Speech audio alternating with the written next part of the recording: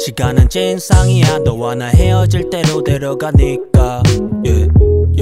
여기는 비상이야. 누군가 시계 태엽을 감으려니까 우린 3차원 속 사람으로서 4차원 같은 미친 사랑을 하고 2차원적인 싸움을 매일 하지만 난 그냥 1차원 속 그저 미개하니까 넌 자꾸 내게 중력처럼 당겨.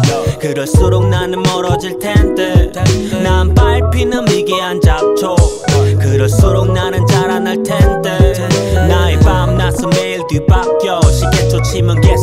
위주로 감겨. 너의 시간은 나와는 되게 많이 달러 난 블랙홀에 빠지고 넌 지구에 가까워. 우린 태양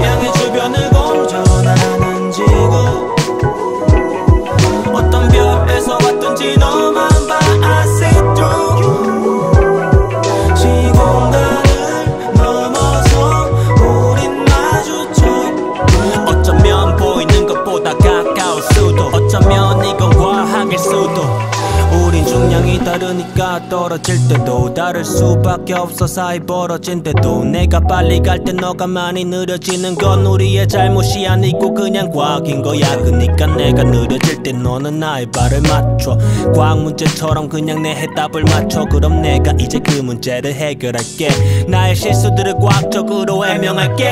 문제 1 우린 일이 너무 많아. 너가 먼저 끝나도 내가 안 끝날 수 있잖아.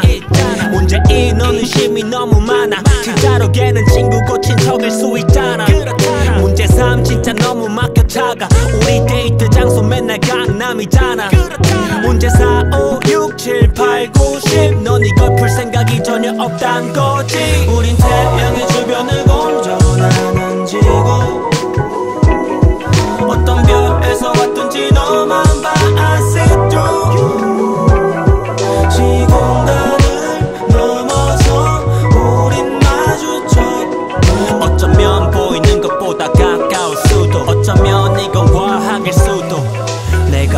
두뇌를 꺼내서 보여주면 너가 날 이해하고서 봐줄라. 나 내가 달콤한 말들로 공격하면 너가 씁쓸한 미소로 반응한다. 사랑 같은 건 왜 이리 달콤할까? 우린 왜 맨날 개미처럼 반응하다? 싸우고 사과하고 화내고 반복. 사랑은 과학이고 우리는 그 과정.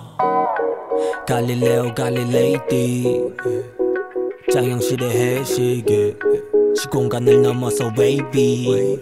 우린 차원의 문을 깨지. 너와 너는 같을 때와 다를 때도 항상 함께하는 why yeah. 사랑은 보이지 않는 원리. 이건 과학이자 이론 절대 변치 않은 원리